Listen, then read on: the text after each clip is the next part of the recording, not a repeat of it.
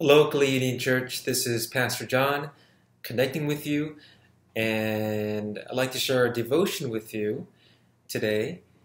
And the the prophets of old, the prophets from the Old Testament, have really shown me encouragement and guidance during this difficult time. And I'd like to share with you a passage from Isaiah and a little bit of background regarding Isaiah. Isaiah is speaking to a people in crisis. The people have been taken away from their homes.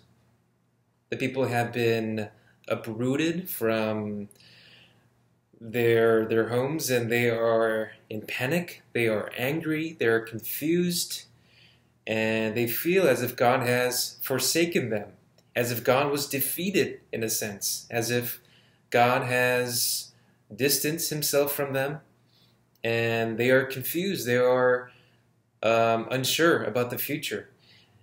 And Isaiah speaks to them words of encouragement, words of guidance, words of support, and explains to them that God has not forsaken them, God has not left them, God has not uh, has not been defeated.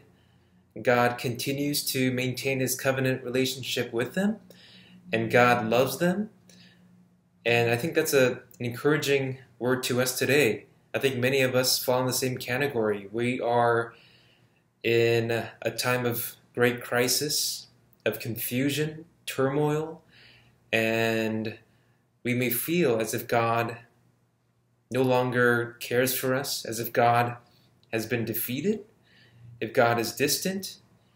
But I think the words from Isaiah really give us comfort and encouragement, clarity that God is there in our midst and is with us. So I'd like to read to you Isaiah chapter 41, verse 7. Do not fear, for I am with you. Do not be dismayed, for I am your God.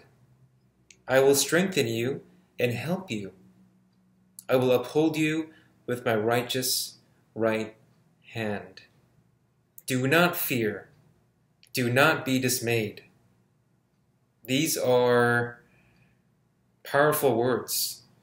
They function as imperatives. They are telling us, commanding us not to fear, not to be dismayed, because God is our God. He loves us. He is with us. He will not forsake us. He has not been defeated. He continues to minister to us. He continues to guide us. He continues to give us wisdom and direction. And we can have great comfort and great uh, direction during this time. Thank you so much. Bye.